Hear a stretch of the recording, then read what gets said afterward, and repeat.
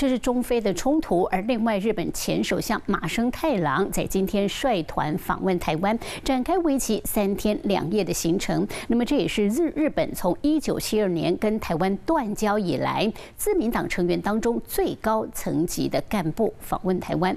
那么麻生太郎一行人来台湾的第一站，在今天下午到五指山国军公墓去吊唁前总统李登辉先生。那么预计呢，在明天将觐见总统蔡英文跟副总统赖赖清德，并且拜会外交部长吴钊燮、前立法院长王金平等人。那么另外还会出席凯达格兰论坛，来担任专题演讲的贵宾。Hello，我是易景，想要抢先掌握最及时的新闻资讯吗？赶快订阅、按赞、开启小铃铛，锁定华视新闻的 YouTube 频道。